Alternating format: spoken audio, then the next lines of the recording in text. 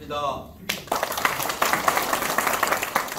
그 공공운영시설 노동조합 부위원장 맡고 있는 이삼명입니다. 반갑습니다.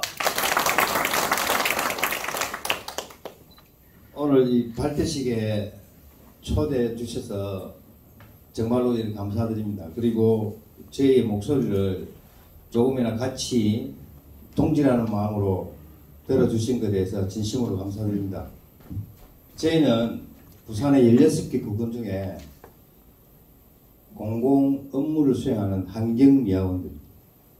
즉 다시 말해 여러분들 과정에 보이지 않게 야간에 생활 쓰레기를 수거 운반하는 그런 청소 노동자들입니다.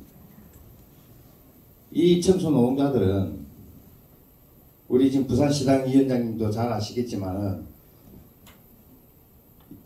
정부가 이 정책을 20여 년 전부터 바꿔왔기 때문에 주간에 일을 해야 되는 일을 야간에 할 수밖에 없었습니다. 그럼으로써 그, 그 노동자들은 비정규직이라는 이름으로 내몰리게 됐습니다. 그런 생활을 20여 년 넘도록 오는 과정에 말 그대로 노동 착취와 인권 탄압을 받는 것은 예사로 받아들였습니다. 실제로 이분들은 자기가 일을 했던 노동에 대한 대가에 대한 임금을 얼마를 받아야 되는지도 조차 몰랐습니다. 그냥 그 회사의 사장이 월급을 주면은 주는 대로 감사하다고 큰절을 할 정도로 까마득한 세월을 보냈습니다. 그 노동자들이 20년 전부터 만들기 시작해서 지금까지는 어느 정도의 안정이라고는 하지만은 아직도 가야 할 길은 험난하기만 합니다.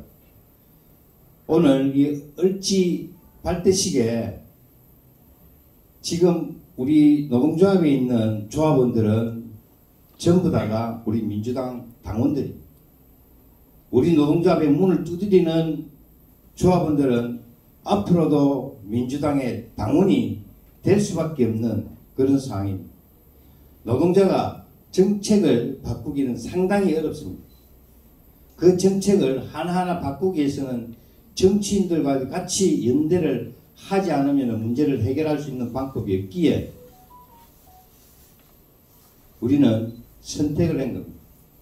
이런 선택이 지금에까지 자리를 어, 만들어 왔고 앞으로도 어뢰 위치에서 여러분들과 함께 손잡았던 손 놓지 말고 함께 끝까지 가줬으면 고맙겠습니다.